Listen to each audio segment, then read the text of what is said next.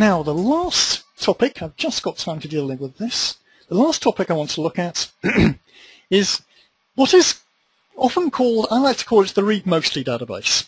Now, this is a very nice technique for getting even more value out of your physical standby. Because remember what I talked about before, when you open your database read-only, you can write a very limited amount of data, basically only temporary data. Opening it read-write as a snapshot standby, yes, it's read-write, but then you're not applying the redo, so it's no longer valid as a real-time data warehouse. The read-mostly database is a compromise between the two. So it adds even more value, ideally to Active Data Guard. Uh, it would function without Active Data Guard license, but Active Data Guard is where you're going to get the most benefit of it. And this is where we come to that load balancing question we had earlier. If you have, say, two applications, perhaps one application is your standard OLTP application, the other application is your query application. Maybe you've got business objects or Discoverer. You know, the business object applications, discoverer applications, they're read intensive. They run massive queries. But they also do an occasional bit of DML. Not much, but they do enough to mean you cannot run them against a read-only database in many circumstances. So what we need to do is redirect the small amount of DML to the primary while running all heavyweight queries against the standby in a way that means your application doesn't even know it's happening. Right, how can I do that? I can do it like this. On my primary, as we see on the slide, synonyms and database links. So on my primary, which is Madrid, I'll begin by creating a user. Oh, I do want to start manage recovery here. So I cancelled recovery, I opened the database, I get apply going. Oops, that's to connect to a user I hadn't even created. I'll connect slash as sysdba. So on my primary, I will create a user.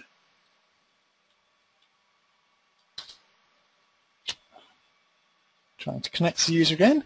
Let me, this is what you get with copy paste when you try to create to save time. I'll create my user. He's called readMost, and that's the schema that I'm going to connect to through, for example, Discoverer. Then I shall create a database link. And before any of you start screaming and shouting at me, I do know that a public database link with connection credentials is a huge security hole, but it will do purely for demonstration purposes at the moment.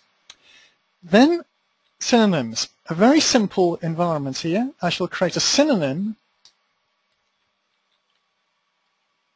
in the read most schema for the emp table. And I'll also create a synonym for dept. But that goes through the database link. Now I'm working on the primary, so my users should be propagated to the standby, the synonym should be propagated, the other synonym should be propagated. So if I go to, say, I'll work on Madrid at this point, connect, read most, read most. Doesn't have create session. Need to give them a couple of privileges. So what I'll do is grant DBA to read most on the primary and then connects over here. And note, everything comes across in real time because I do happen to have got this thing set up. I've done so much work on Berlin, I just want to make sure my spare one is a physical standby and clearly it is open read only I wouldn't be able to do anything. So if I select, but what now happens? This is my read most user. For my read-only application, if he tries, for example, to delete from EMP, it's a read-only database. But what happens now?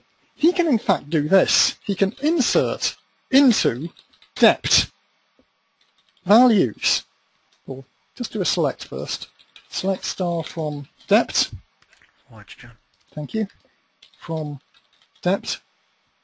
Nothing special about that. It's a read-only database. But what if I were to delete from dept? Where dept no equals 99. One row deleted, even though it's a read-only database. Transactional consistency is gone. Whereas, of course, on the other side, in the actual primary, Scott.dept is still there. Transaction consistency is maintained.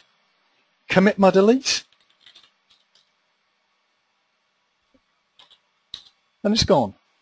So it's what I call a read-mostly database. This is really, really powerful. And my application is very simple. It's based on two tables. So I've got one table, dept, where I can do DML, another table, emp, where I run the heavyweight queries. And it's completely transparent, note. You know, there's no configuration for the application at all. I, as DBA, in conjunction with your application people, have to identify what tables are likely to be written and what ones aren't. And that gives us the read-mostly database. By use of, we can redirect work transparently to the application, and it would all be based on services. Which brings us to the very last point, which I will not have time to talk about in any great detail. My apologies for that.